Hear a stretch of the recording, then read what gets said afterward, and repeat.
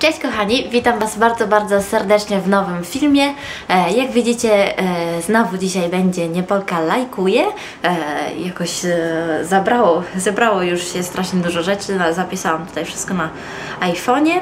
E, dzisiaj nie będzie żadnych książek, bo nie zdążyłam przeczytać niczego nowego, ale będzie hol e, książkowy niedługo, bo robiłam wielki, wielkie zakupy na Amazonie, jak widzieliście w, w, w vlogmasie, więc nie martwcie się, będzie jeszcze książek, bo chyba Wam się spodobało jak, jako temat.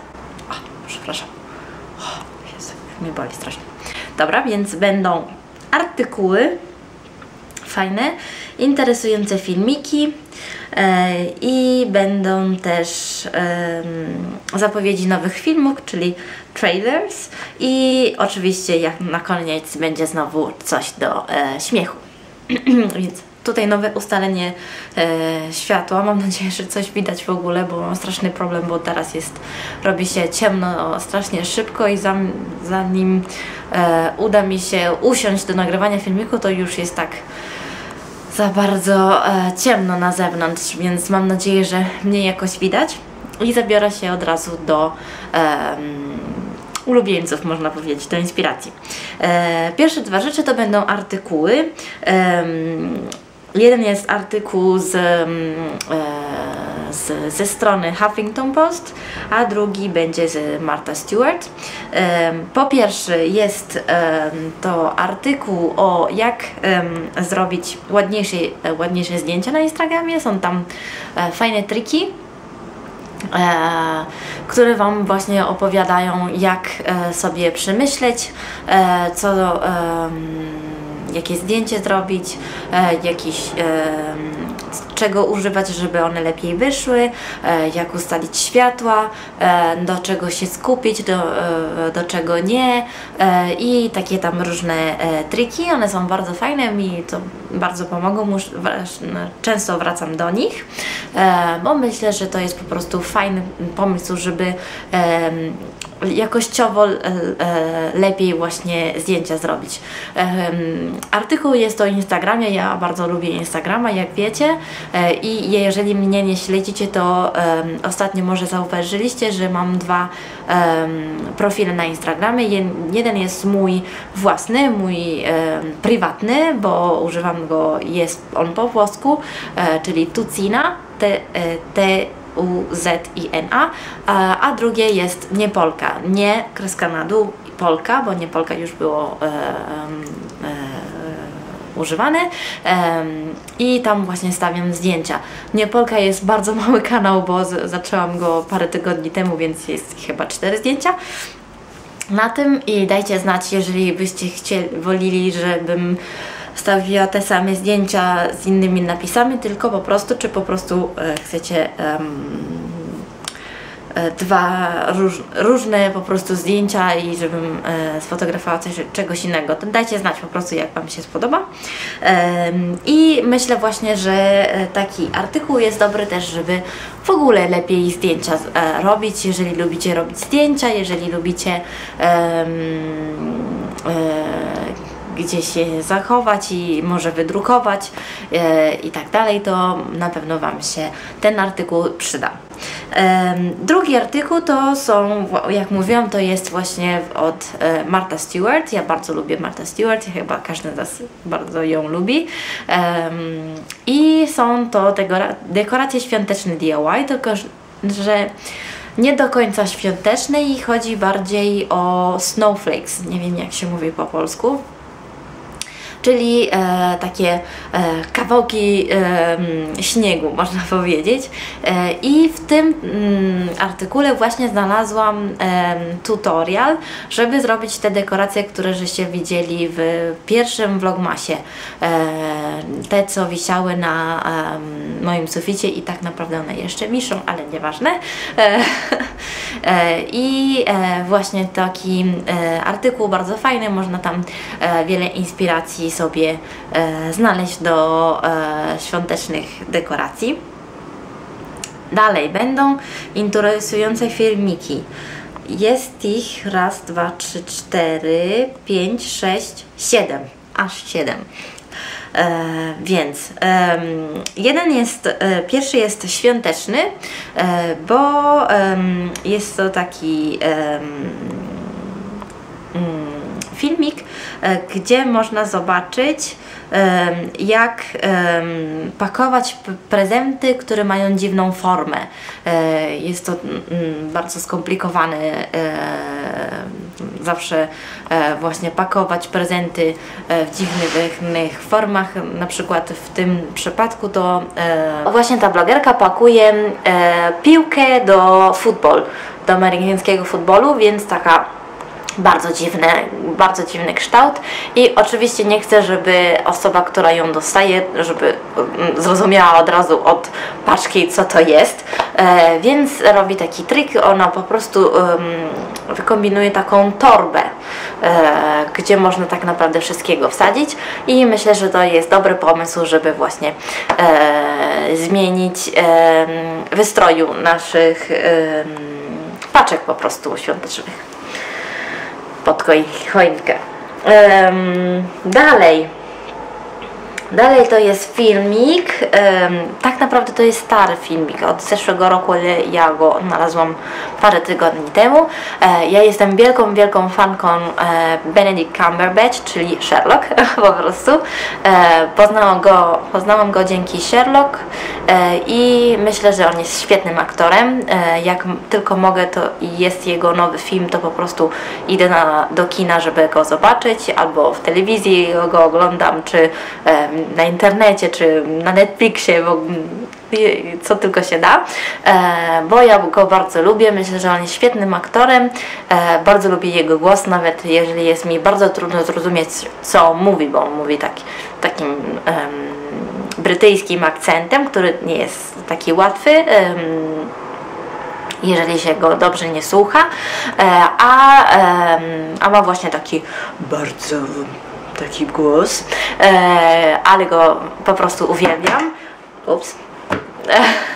E, jak mówiłam, uwielbiam, jak mówię, Benedict Cumberbatch jest zawsze wielkie zamieszanie. I właśnie odnalazłam taki filmik, e, gdzie jest behind the scenes, taki backstage, e, jak on e, grał roli, ja zaraz Wam powiem jaki to jest rola. On interpretuje smoka Smaug z serii Hobbit.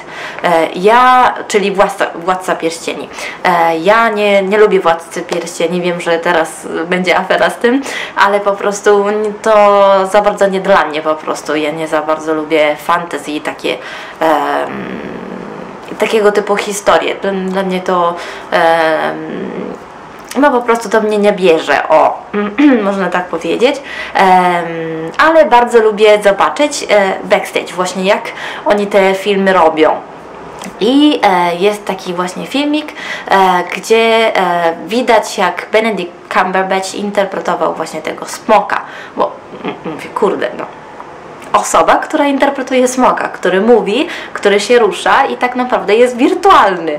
E, I jest to bardzo, bardzo interesujące, bo on po prostu, e, bo widać jak, jak on jest bardzo dobrym aktorem, e, a jest też interesująco zobaczyć, jak takiego typu scen jest właśnie wykonane. Myślę, że to nam daje zrozumieć jeszcze bardziej, dlaczego fi zrobić film e, na Hollywood jest tak drogo e, i dlaczego oni są tak dużo płaceni po prostu, bo, e, bo to nie jest łatwe, to nie jest dla wszystkich, nie wszystkich, nie wszyscy mogą to zrobić i myślę, że to jest właśnie naprawdę bardzo, bardzo interesujące, nawet jeżeli nie lubicie Władcy Pierścieni tak jak ja. E, kolejny interesujący filmik, z którego się bardzo dużo śmiałam, e, to e, jest o Adele.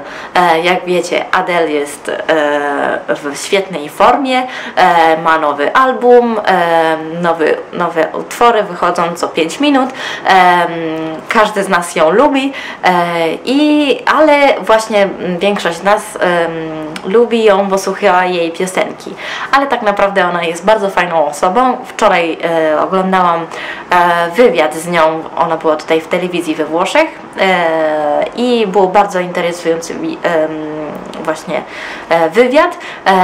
Ona jest tak bardzo fajna, bardzo, bardzo fajna. Myślę, że bym chętnie poszła z nią na piwo. o. E, I co? ona po prostu brała udział w BBC e, w takim programie, e, gdzie szukało się um, takiej Y, po włosku mówi się sozja, e, sozja e, czyli e, osoba, która wygląda i mniej więcej mówi czy śpiewa w, jak ta mm, znana osoba, tylko że nie jest znaną osobą i taka kontrafigura. nie wiem jak się mówi po polsku. I właśnie ona brała udział w takim programie, gdzie szukali odpowiednika właśnie Adele, tylko że ona brała brała udział jako odpowiednika samej siebie. I jest to, i to, jest to, po, po, to po prostu to jest e, audycja, jak się mówi, e, przy, przesłuchanie po prostu. E, więc e, jedna po drugą e, wchodzą na scenę i ona tam e, na backstage mówi, o Jezu, ja się strasznie źle czuję, ojej, ojej, ojej.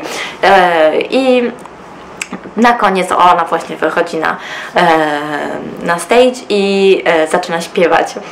I e, każda z innych dziewczyn po prostu tak siedzi się, patrzy na nią że właśnie ma przed, przed, sobą, przed sobą ma właśnie prawdziwą Adele. I jest to bardzo fajne, bardzo fajne reakcje.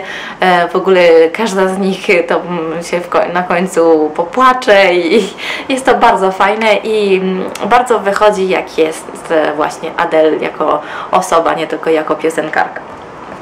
Więc polecam.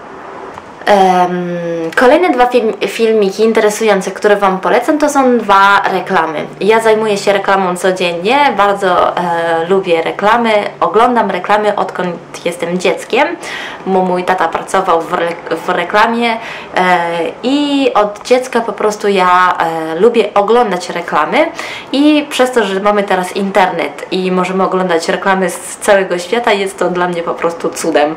E, ja tego uwielbiam i znalazłam są takie dwa e, różne reklamy z dwóch różnych miejsc. Nie, mm, z takiego samego miejsca, bo obydwa są z, z Niemiec, e, tylko dwa różne firmy. Pierwszy, pierwsza reklama to jest e, Lufthansa, i oni e, robili taki totem, i, oni robili taki totem, e, który e, używa technologię, technologię filmików w 360 stopni. I po prostu ludzie mogą używać tej reklamy na 360 stopni, po prostu mogą się kręcić i zobaczyć różne sceny właśnie, różne, różne kawałki z tej samej sceny i e, jest to właśnie zrobione przez Lufthansa i bardzo lubię z czego ta reklama wychodzi, e, że jak jest szaro, buro i ponuro na zewnątrz, to chce nam się słońca i e, chce nam się gdzieś wyjechać. E, I właśnie dzięki tej reklamie to ludzie mogą sobie pomarzyć tak bardziej interaktywnie o gdzie pojechać, o, o nowych podróżach więc e, bardzo, bardzo interesujące, bo bardzo interesująca jest ta technologia. Drugą reklamę, którą zobaczyłam, to jest firmy EDK. Chyba każdy z Was ją oglądał, bo widziałam nawet, że e, polskie e, magazyny o tym mówi, e, powiedziały, mówiły e, i jest to właśnie świąteczna reklama e, z firmy EDK. EDK to jest taki jak Tesco. O. I w tym filmiku jest taki starszy pan, który co roku na święta, na Bożego Narodzenia e, dostaje różne wiadomości o swoich synu czy córek, e, które mieszkają bardzo daleko od niego, e, w każdym, każdy w jednym kącie świata i dostaje właśnie wiadomości czy telefon, że oni nie przyjdą na święta nawet w tym roku, bo coś im wypadło, że bo nie udało mi się im kupić bilety i tak dalej. I on jest bardzo mm, smutny z tego powodu. E, I e, na samym końcu on coś wymyśli, żeby e, wziąć całą rodzinę po jednym przy jednym stole tak naprawdę, przy swoim jednym stole e, i jest to taki, nie będę Wam powiedzieć o co chodzi w tym reklamie, bo jeżeli e, chcecie zobaczyć, to lepiej ją zobaczyć, ale myślę, że to jest reklama, która Wam da wiele do myślenia, e, bo czasami zapominamy, że mamy bardzo dużo rzeczy do załatwiania, do, e, o czym myśleć cały rok, ale są takie momenty, w których lepiej o niczym innym nie myśleć i myśleć tylko o bliskich. I myślę też, że to jest reklama, która nam opowie o świętach, e, o świąt, ale opowie w takim innym okiem i e, opowie taką historię, historię, która tak naprawdę jest prawdziwa, ale rzadko ją zobaczyć właśnie na e, reklamach świątecznych, więc bardzo, bardzo polecam. Oczywiście wszystkie filmiki, wszystko o czym mówię będzie mm, miał link tutaj na dole, więc nie przejmujcie się, nie zgubicie tego. Kolejne dwa filmiki to um, jeden jest taki um, eksperyment socjalny, ro, zrobiony przez Canona, czyli e, marka, która e, wykonuje aparaty fotograficzne, tak jak mój, z którym e, kręcę filmiki e, i e, jest to taki eksperyment bardzo, bardzo fajny. E, oni po prostu wzięli sześć fotografów, profesjonalistów e, i e, jednego faceta i dla, do każdego fotografa opowiedzieli, że ta osoba jest kimś innym. Dla jednej osoby ona wyszła z więzieni parę miesięcy temu, dla drugiej osoby to on był alkoholikiem, dla trzeciej osoby e, on był mm, osobą z problemami psychologicznymi, dla czwartej osoby on był e, bossem, takim milionerem, e, który zrobił swoje pieniędzy od niczego i tak dalej. Jest ich sześć i każdy z nich musi im robić jedno zdjęcie, taki portret po prostu tej osoby.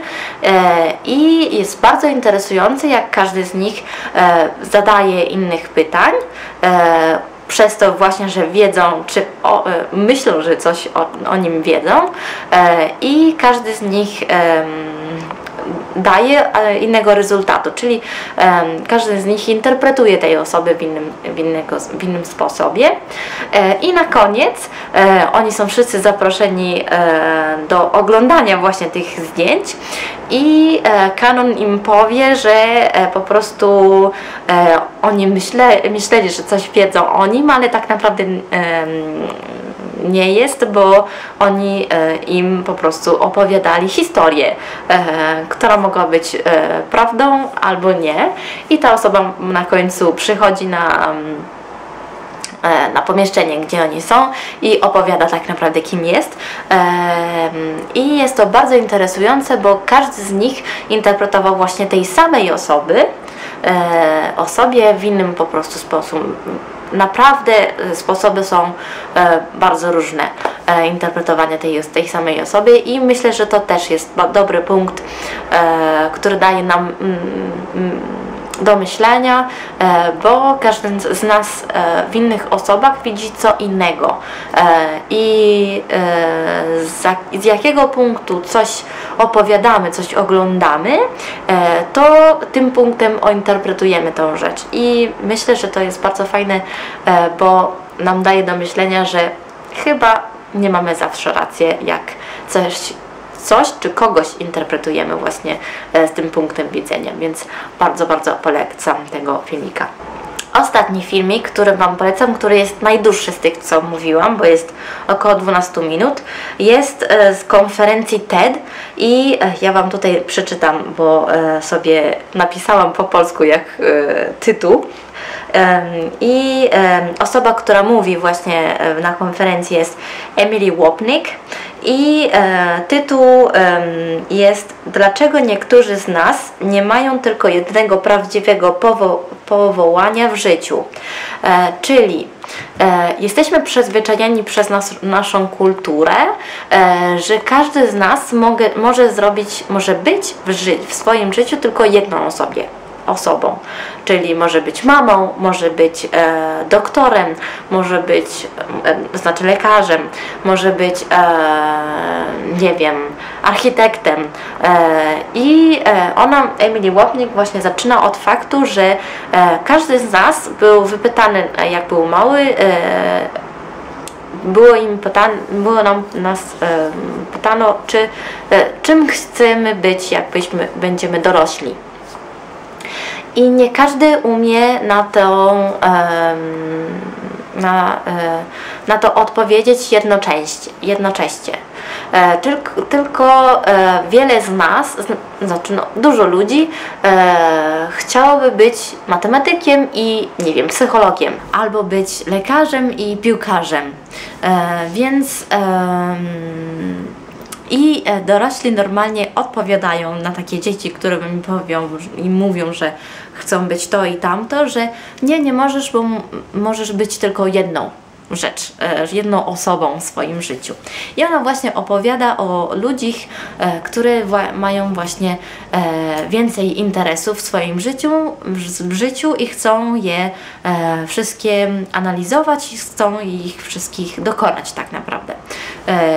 I właśnie to jest bardzo interesujące, bo ona też mówi o kreatywnych procesach, gdzie tak naprawdę osoby, które mają właśnie wielu interesach i osoby, które mają e, jednego interesa, który e, został jej, ich pracą, to powinni, powinni pracować zawsze razem, bo jeden umie zobaczyć e, różnych punktów widzenia właśnie tej samej rzeczy, bo mm, ma wiele interesów, więc e, umie e, zobaczyć, patrzeć się na rzeczy od wielu punktów widzenia, a drugi może, może się z jednego punktu widzenia skupić i tego analizować tak bardzo intensywnie.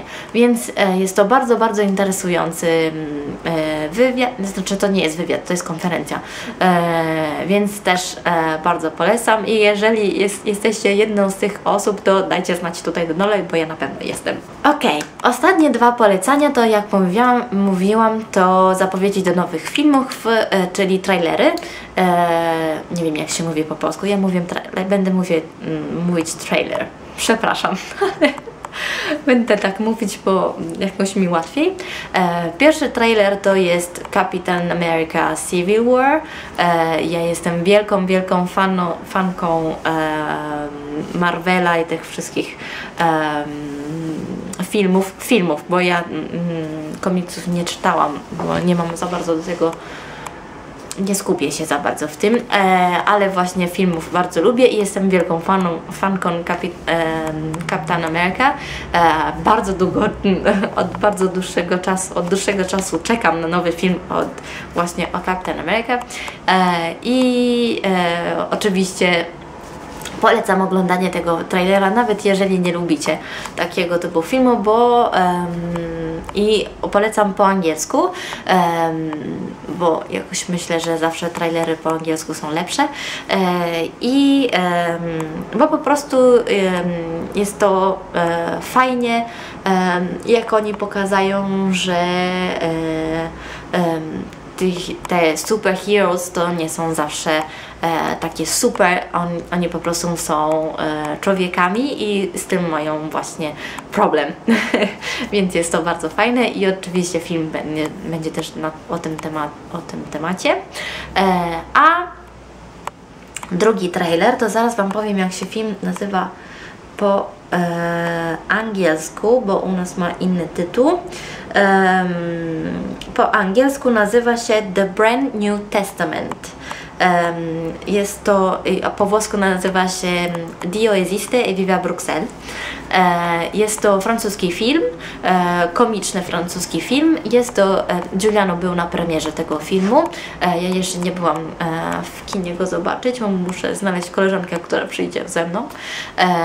I po prostu to jest film, gdzie nam powiedzą, kim jest Bogiem, gdzie On mieszka, E, i dlaczego w naszym życiu jest tak wszystko dziwnie, że na przykład jak stoimy w kolejce, to druga kolejka idzie szybciej, czy po prostu nie wiem, jak e, smarujemy dżem na, na chlebie i jak nam chleb spadnie, to oczywiście spadnie w stronę dżemu i tak dalej. I to e, jest właśnie historia tego Bogu, Boga, który jest E, nie jest dobrym Bogiem, a jest złym Bogiem e, i ma córkę, e, która tak naprawdę jest tym dobrym Bogiem i ona, on, Bóg używa komputera, żeby właśnie tych wszystkich reguł napisać i w pewnym momencie ona, w momentu ona jest bardzo zła z nim i usiądzie do, do, jego komputera i napisze do wszystkich ludzi na świecie e, SMS-a, których wszyscy dostają i z tym SMS-em e, wszyscy wiedzą, kiedy mm, będą umrzeć. I e, z, z tym faktem to oni zmieniają, zmieniają swoje życie. E, I jest to naprawdę bardzo, bardzo e, interesujący też punkt widzenia, bo da nam do myślenia, czy my naprawdę e, żyjemy takim życiem, który chcemy, czy po prostu przyzwyczailiśmy się do takiego życia, życia którego mamy. Myślę, że to jest e, fajny punkt e, widzenia i da do przemyślenia. Nie, nie trzeba wierzyć w Bogie, czy być e, katolikiem, czy nie, nie szkodzi po prostu. Nie, nie o to chodzi, chodzi o to, że ten film da nam właśnie coś o czym myśleć. I ostatnia rzecz, rzecz oczywiście to coś do śmiechu. Będziecie mieli tutaj link na dole do filmiku takiego zmiksowanego, które znalazłam na Facebooku, ale to jest wielki miks z, różnych filmów na Vine. E, jak już Wam mówiłam, bardzo lubię Vine'a e, i ostatnio jest taki trend, taka moda na Vine, że po prostu, e, bo jest nowa, nowa funkcja tak naprawdę, że można wziąć dźwięk z jednego filmika i zrobić z tym właśnie filmik i tam zmiksować różne dźwięki od różnych filmików i ludzie po prostu wymyślają różne, przeróżne rzeczy i można się naprawdę bardzo dużo śmiać, więc zostawiam tutaj Wam na dole ten filmik do śmiechu, żeby, śmiechu, żeby Wam poprawiać humor, jak macie gorszego dnia. Więc, kochani, e, mam nadzieję, że za długo nie, nie pogadałam, ale na pewno to zrobiłam. E, dziękuję za oglądanie i że byliście ze mną. E, mam nadzieję, że filmik Wam się spodoba e, i dajcie znać tutaj, e, co myślicie o tych filmikach, e, o którym mówiłam i o tych różnych rzeczach, o, którym, o których mówiłam w filmie. oczywiście możecie mnie śledzić na Facebooku i na Instagramie, jak już, już mówiłam, ale możecie mnie śledzić też, też na Snapchacie. Zaczęłam tego używać, więc powolutku się do tego e, zabieram e, i znajdziecie mnie tam e, jak zwykle jako niepolka. Jeżeli jeszcze nie zaglądaliście, to zaglądajcie też do mojego Tumblerza. E, tam są różne inspiracje. Największej, najwięcej to będzie, będą dekoracje e, do domu, bo jest, mam taką fazę w tym momencie, e, ale będzie trochę, też trochę o modzie i o różnych rzeczach. Są tam po prostu zdjęcia, które mi się bardzo podobają i ja je tam ustawiam. E, I co? Chyba mówiłam Wam o wszystkim, więc dajcie kciuka w górę, jeżeli lajku, lajkujecie tych, e, tych filmików e, właśnie z serii Nie Polka lajkuje. Ja już się z Wami żegnam, ściskam, całuję i pozdrawiam. Do następnego. Pa!